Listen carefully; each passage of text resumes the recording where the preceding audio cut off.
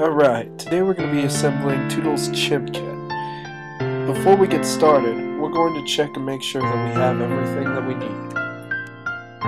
Opening up the bag, we're just going to slide everything out. Inside you should find Toodles' welcome guide.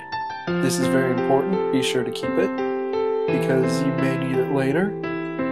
And here we have the printed circuit board we're going to have a few other parts and we're going to make sure that we go over all of them.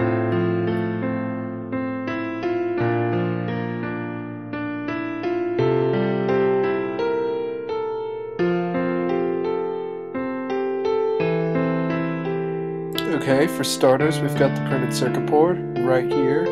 Very important, very obvious if it's missing, but I have mine.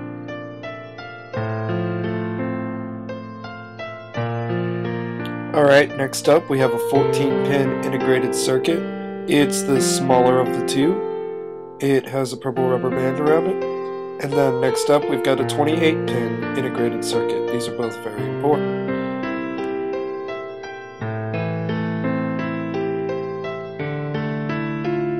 Next up, two capacitors, different sizes, different ratings. These are the aluminum capacitors. There is one other capacitor. Alright, now we have a 20 megahertz resonator. It is different that it has three pins.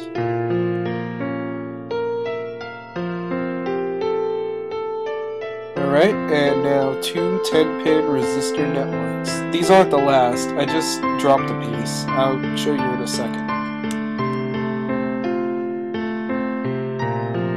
And finally, one other small capacitor. I had dropped this. Um, it's small, it should be yellow or blue, two pins at the end. Alright, now let's get into some basic equipment you'll be needing. Firstly and foremostly, you'll need solder, of course, because this is a soldering project. Then you're going to need some wire cutters or diagonal nose pliers, same thing. Then you're going to need a soldering iron with a stand. A desoldering pump is nice. This just sucks away hot solder in case if you've made a mistake on the board. You can just press a couple buttons and it'll suck away any hot solder so you can take it right off. Alternatively, you could have some copper braided desoldering wire. However, if you're going to use this, you're also going to need some needle nose pliers to hold them by this gets very hot whenever you use it. This is because you're going to press copper and heat next to each other.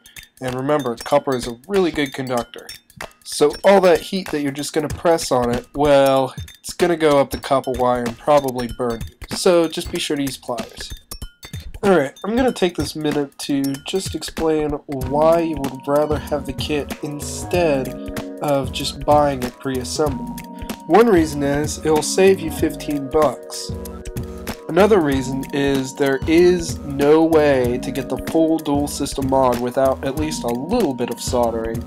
Now while guides have come up with the most solderless solutions, you're still going to have to solder a little bit. So you might as well get some soldering experience assembling the kit itself. Another reason is I don't like screw terminals on my printed circuit boards, so the only way to get it without is to buy the kit. So now we're going to actually go over some basic soldering techniques since I know a lot of you have no experience on this whatsoever, which is perfectly cool. This is a freeze frame of the general technique of soldering. You want the metal tip of the soldering iron to touch the solder. When these two meet, the solder will melt. Solder is a lot like electrical hot glue, Whenever it melts, it'll melt into sort of a glue-like consistency, allowing you to stick pieces together. Now what this means on a circuit board is that you'll be able to stick individual components to a circuit board. I'll show you like so.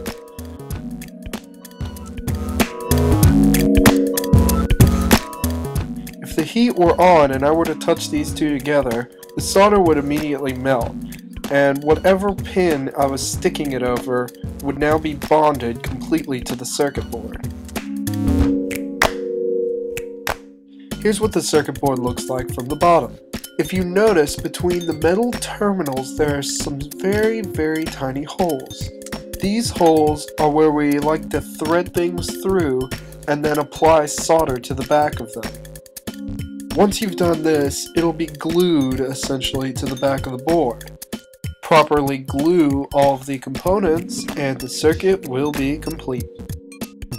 Alright, now I've got my soldering iron heating up, and you can see a little bit of smoke coming from it. I intentionally used one for the first time to demonstrate that this is normal whenever you heat up a soldering iron for the first time.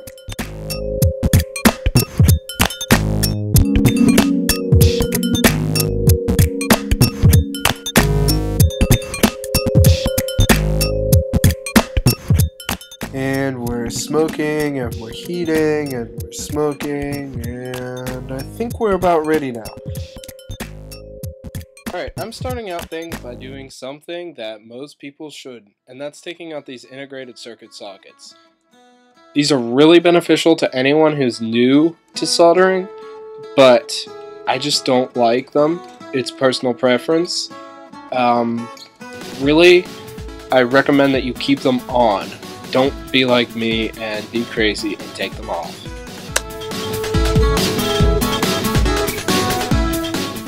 Alright, now that I've barbarically ripped those off, um, we're actually going to start putting it together.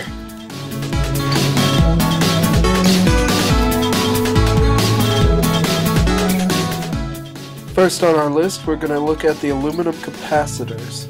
Now, I'm holding it up just to show you that there is a lighter and darker side. This is important because the lighter side is negative and the darker side is positive. The negative side will also be marked, as well as having the shorter lead. Though you can't really see it close up from my camera, the circuit board has three places to put three capacitors. To place a capacitor, make sure that the positive is going through the hole that is marked with the plus sign. Thread them through and then push it in. It is also important to make sure each capacitor goes through the right spot. The slightly larger 10 microfarad aluminum capacitor will go through C3. This is the one I'm currently working on. With a hot iron and solder in hand, you're ready to attempt your first soldering connection. Simply touch the two together to try to get it to melt and go into place, like so. Now you notice there's a little bit of smoke coming off. This is perfectly normal and meaning that you're doing it correctly. There is a core built into solder that's designed to burn off, instead of using the old school flux. Keep your solder nice and clean whenever you apply it to the board, so don't worry about any smoke. You're not burning anything. Or rather, anything that wasn't meant to be burned in the first place.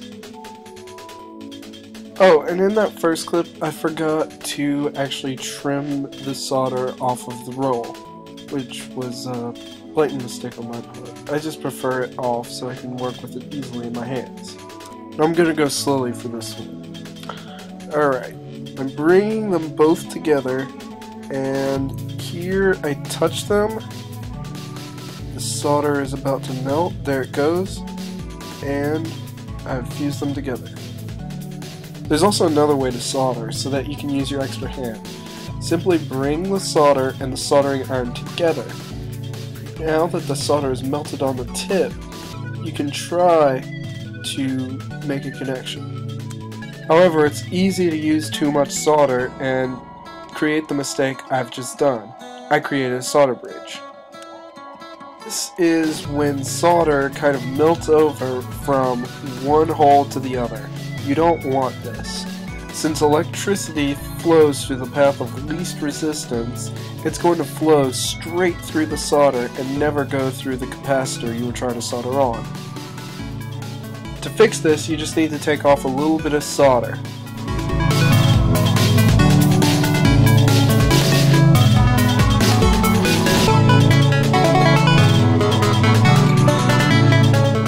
This is a great use time for the desoldering pump. All you need to do is heat up the solder you're trying to remove and then press the button on the side to try to take it away.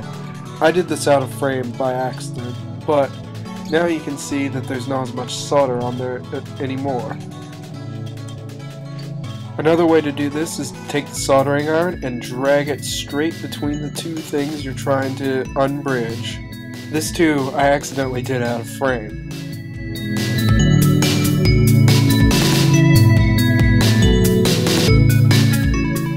Now that we've removed the excess solder, I'll show you what a good connection looks like.